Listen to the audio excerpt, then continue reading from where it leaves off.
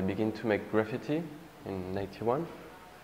So I did really during 10 years like uh, just tags in the street and my name was L'Atlas already. And so then I was interested by calligraphy because uh, at this moment I was thinking like the pure gesture in graffiti was the same to make calligraphy with a pure gesture also. So after that, uh, when I begin to study calligraphy, I study Arabic calligraphy and Chinese calligraphy. I try to mix the spirit together.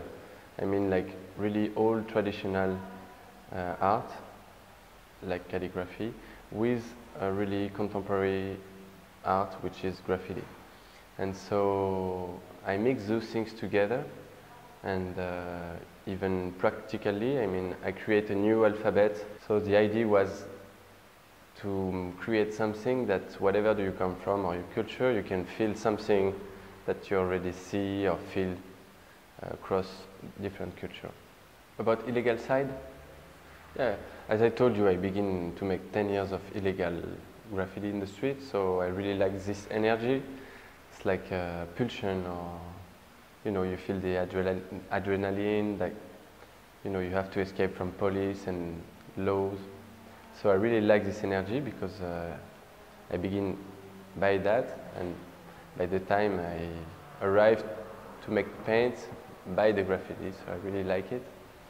And then after in 2000, 2001, in France and Europe, a lot of people begin to make that we call street art. That's not only writing, but pasting or painting big walls or using other materials to attack the street and to use the street as a museum. But I think like like each movement when it's recognized by history of art is dangerous because it's become a fashion movement and so a lot of people uh,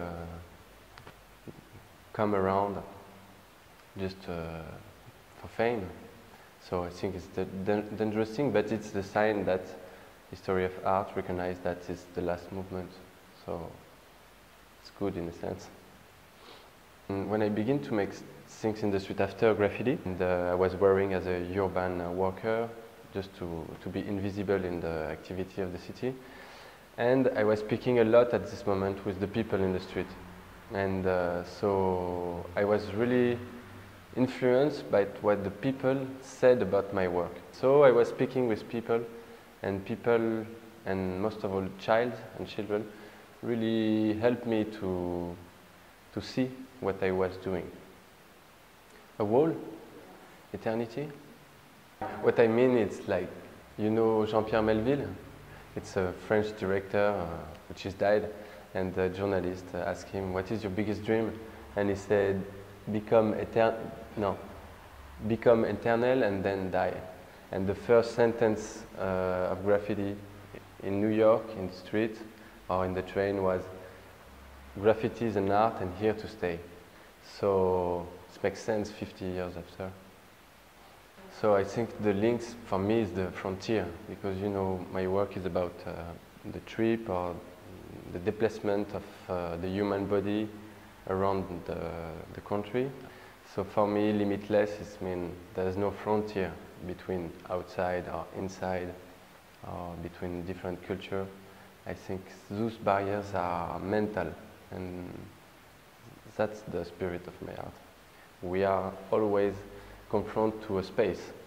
You are inside or outside, you, you have a wall, you have a space, so you have to think. It's like in situ art. You have to think what you're going to do uh, with the limit of the space. In a way, uh, street art and internet born together. When I began to make uh, those series in 2000, it was the beginning of uh, internet, and so it was really uh, like a good mix because you, you were doing something in the street, just make your pictures. I mean, the canvas not staying in the street, so you see that it's invisible. The only uh, trace was the pictures. And so how to show that and touch the most number of people was internet.